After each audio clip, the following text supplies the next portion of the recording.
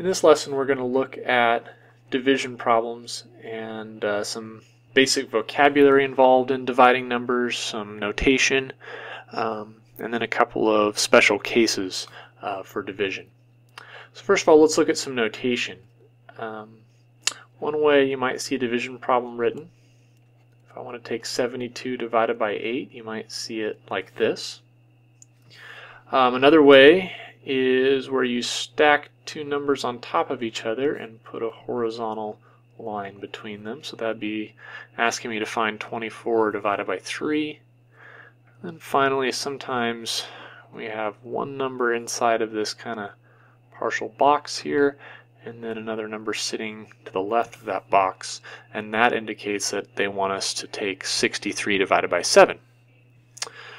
So uh, first of all, let's talk about what does it mean to divide two numbers. When I ask, what is 72 divided by 8, what am I really asking? Well, what I'm asking is, how many times does 8 fit into 72?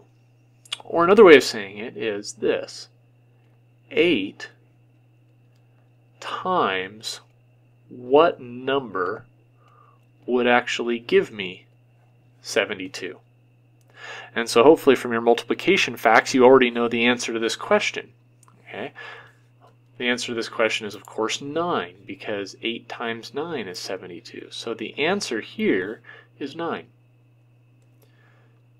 For our 24 divided by 3, we could kind of do the same thing. We could say, okay, how many times does 3 go into 24? Or 3 times what number equals 24?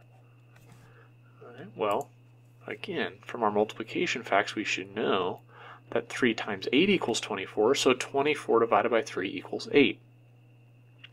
And finally, for our last example here, 7 times what equals 63? Well, 7 times 9 equals 63. And when a problem's written like this, you actually put the answer up above the last digit of that number, 63. All right, now a couple of um, vocabulary terms that we also need to be aware of when it comes to looking at division problems. Um, first of all, and let's just, to, to define these terms, I am going to use 72 divided by 8 equals 9 as my example. So in this example, 72 is the dividend. And that dividend is just the number that is being divided. The number that's being chopped up. 8 is the divisor, the number that is doing the dividing, or how many equal pieces you're trying to split the dividend into. And 9 is the quotient.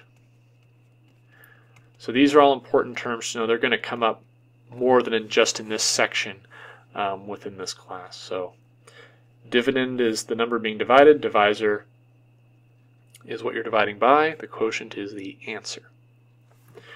Now the last thing I want to do in this um, introductory video is talk about two special cases that come up um, when we're talking about division.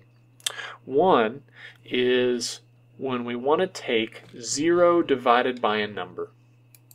So let's take 0 divided by, let's just say 5. Alright? Well, to play the same game we did up here with all of these, what I could be asking myself is 5 times what equals 0?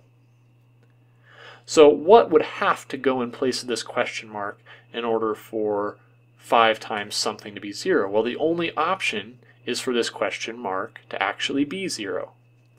And so because the only thing this question mark can be is 0, it must be that when you try to take 0 divided by a number, you end up with 0. Now let's take this problem and turn it around a little bit. Suppose I had 5 divided by 0. And I wanted to know what that was. Well, playing the same sort of game here, what I'd be saying is 0 goes into 5 how many times? Or 0 times what equals 5? But there's a bit of a problem here because we know that 0 times anything is 0. So no matter what you made this question mark, there's no way you could ever make 0 times that thing equal 5.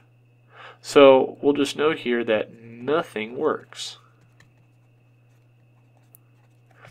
And so what that means is that this division problem I wrote up here doesn't really have an answer. And so what we say is 5 divided by 0 is undefined.